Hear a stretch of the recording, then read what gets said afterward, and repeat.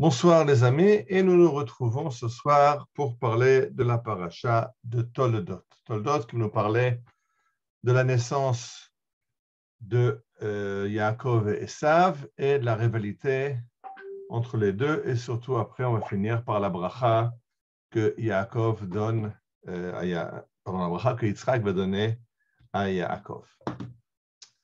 Alors, le verset nous dit Esav ish ish sadeh. Les enfants grandirent et Esav devint un homme qui savait chasser, un homme des champs, un homme de la nature, et Yaakov était un homme intègre qui demeurait dans la tente.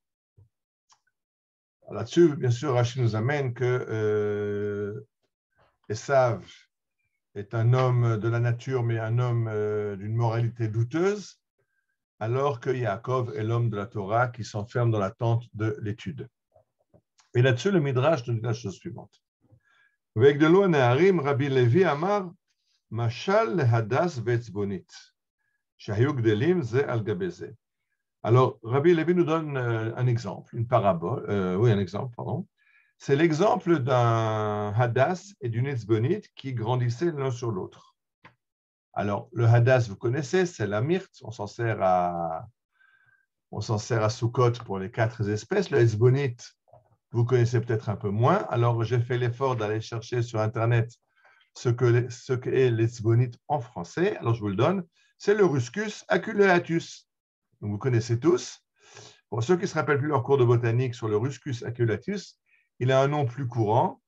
Il se fait appeler le fragon frohou, le fragon petit hou, le fragon piquant, le fragon épineux, épine de rat, buis piquant, fragonnette, gringon, vergandier ou encore oufrelon, oufrelon. Bon, vous avez le choix entre les noms.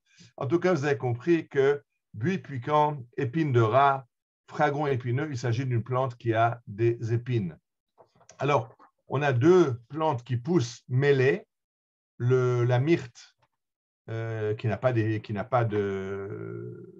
d'épines et qui a une très bonne odeur, c'est pour ça qu'on la prend dans les euh, quatre espèces, dans l'arbre minime. Et le hezbonite, le fragon épineux, qui lui n'a pas d'odeur, mais qui a des épines.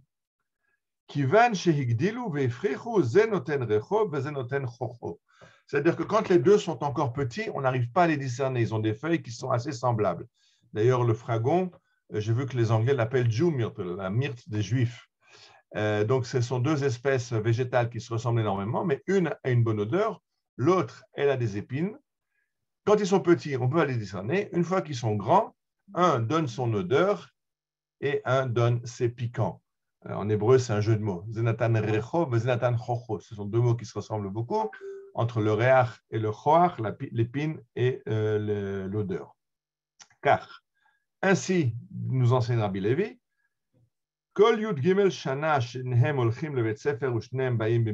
pendant 13 ans, Yaakov et Esav vont journellement à l'école, ils reviennent ensemble de l'école, euh, ils font leurs espiègleries ensemble. Après 13 ans, un continue à aller à la yeshiva et l'autre va dans les temples idolâtres. Et là, il y a une, euh, il y a une leçon à en tirer. Amar Rabbi Elazar, Rabbi Elazar dit donc, qu'est-ce qu'on apprend de là? Euh, les parents sont tenus à éduquer leurs enfants jusqu'à l'âge de 13 ans. Mikan à partir de là, ils font la bracha que euh, le père récite à la bar mitzvah Merci euh, à Dieu qui nous a, euh, béni soit Dieu qui nous a libérés euh, de la responsabilité de cet enfant. De quoi s'agit-il? Alors, on a maintenant on a vu le verset, on a vu le Midrash qui nous parle du fait que Yaakov et Esav sont comme la myrte et le fragon qui sont pas discernables tant qu'ils sont petits, mais qu'on peut discerner une fois qu'ils ont grandi, un par son épine, un par son odeur. Euh, et disent la même chose avec Yaakov et Sav. Quand ils étaient jeunes, ils étaient très semblables. Mais une fois qu'ils arrivent à l'âge adulte, 13 ans d'après la, Torah, c'est l'âge de la bar mitzvah, c'est l'âge de la responsabilité morale, alors chacun se tourne vers ce qui lui est propre, un vers l'étude de la Torah et l'autre vers une vie euh, d'idolâtrie beaucoup moins morale. Maintenant, il faut comprendre, quand on dessine euh, dans les textes bibliques illustrés pour les enfants, alors on dessine toujours Yaakov, ah, il, est, tout mignon, c'est un petit garçon très mignon. Et euh, Esav, c'est le gros méchant avec les, yeux, il veut vous bouffer. Mais en fait, il faut comprendre que ce n'est pas de ça qu'il s'agit. Pour la Torah, ils sont frères jumeaux, ils sont nés ensemble, ils se ressemblent énormément, à tel point qu'au moment où Yaakov, ou Yitzhak, pardon, va vouloir bénir euh, Esav, et que Yaakov va se déguiser en Esav, Yitzhak va toucher son fils, va, va tâter, va mouchra béni, il va essayer de. Il ne voit plus alors, mais les aveugles, on sait qu'ils sont très sensibles quand ils touchent, ils arrivent à discerner beaucoup de choses, et ils n'arrivent pas à discerner Yaakov de Esav. Le verset dira, Yitzhak va dire, Hakol kol Yaakov, la voix est la voix de Jacob, Vayadaim Esav, et les mains sont les mains d'Esaü. Et là-dessus, les Chachamim nous expliquent, euh, la voix est la voix de Jacob, il ne s'agit pas du ton de la voix. La voix, l'intonation était exactement la, même. Autrement, euh, Yitzhak aurait directement compris que face à lui se trouvait Esav et non Yaakov. Donc leur voix était entièrement, l'intonation était la même. Alors, que veut dire le verset Hakol kol Yaakov, la voix et la voix de Yaakov Rachid nous explique sur l'endroit. La, la façon de parler, la formulation est de Yaakov. S'il te plaît, papa, bien manger. Euh, c'est Dieu qui m'a aidé à trouver euh, rapidement les, animaux que je cherchais. Donc, c'est la façon de parler de Yaakov qui pose un problème à Yitzhak, qui lui dit un instant, c'est pas la façon de s'exprimer de Yitzhak, de, de. Mais au niveau de l'intonation, de, de, la façon de parler, euh, Yitzhak n'est pas capable de discerner entre Esav et Yaakov. Là-dessus, le Noam Perel décide de nous expliquer la chose suivante. La, personnalité de chacun d'entre nous repose sur trois piliers. Il y a d'abord les qualités, les talents avec lesquels nous sommes nés. Donc, nous sommes nés avec un certain nombre de talents, de dons, de défauts aussi, des fois. Ensuite, il y a un deuxième étage, c'est l'éducation. On a été formé, on a été formaté, on a été éduqué euh, par nos parents, par l'école, par nos amis, par la société, par le milieu dans lequel on vit.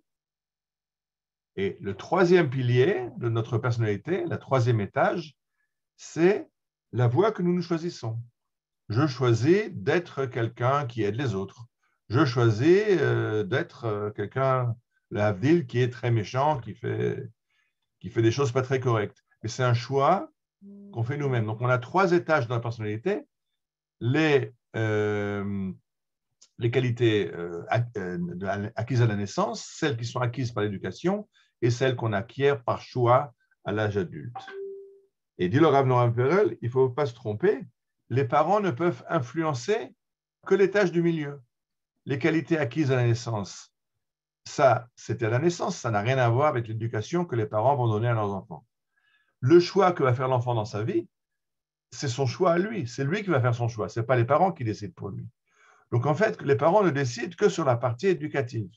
Et bien évidemment, hein, les parents vont vouloir choisir la meilleure éducation possible, la meilleure école possible, donner un exemple à la maison, une famille unie. Ils vont vouloir trouver des amis qui sont adaptés à ce qu'ils cherchent.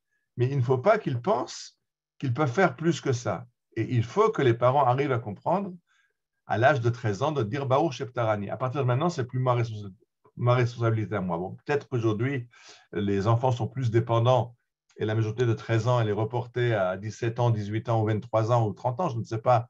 Euh, il y a les psychologues, euh, les anthropologues qui parlent de à quel âge aujourd'hui on arrive à un âge adulte. C'était beaucoup plus tard que, que dans le temps. Mais il faut comprendre que les parents doivent dégager leurs responsabilités. Ce ne sont pas eux qui vivent la vie de leurs enfants qui formatent leurs enfants. Euh, c'est un texte qui m'a, une explication qui m'a beaucoup touché. Quand je, vous ai déjà dit que chaque fois, euh, sur chaque paracha, il y a, trois, quatre explications du Rav impérial. Et j'en, choisis une qui me parle au moment où je suis en train de le lire. Et euh, cette semaine, ce qui m'a touché, c'était cette explication-là, parce que dans deux semaines, je vais guider le bac bleu-blanc. C'est un projet qui amène euh, euh, presque près d'un millier de jeunes élèves de terminale des écoles juives de France. Et le but, c'est de leur proposer de continuer leurs études supérieures en Israël. Et je me rappelle qu'il y a quelques années, je demandais à session à la fin de, cette semaine qu'on a passée ensemble, je demandais, je demandais, aux élèves quels sont leurs projets pour l'année prochaine, qu'est-ce qu'ils veulent faire l'année prochaine. Et puis, euh, sur une classe de, 28 élèves, à, la neuvième qui me dit euh, je vais faire médecine, j'ai commencé à m'énerver un petit peu. Je lui ai demandé, mais un instant, pourquoi tu veux faire médecine? Est-ce que tu te sens la vocation? Tu as la vocation de soigner les, gens, d'aider les gens? Et elle me répond, ah non, non, c'est maman qui me l'a dit.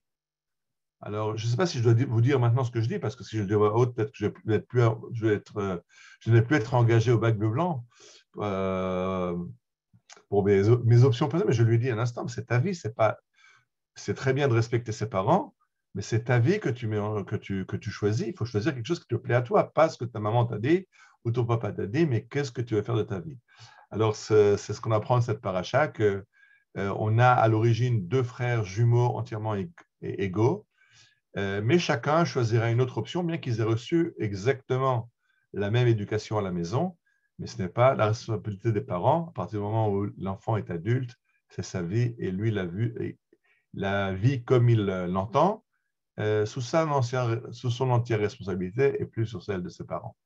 Voilà, Shabbat Shalom et à la semaine prochaine.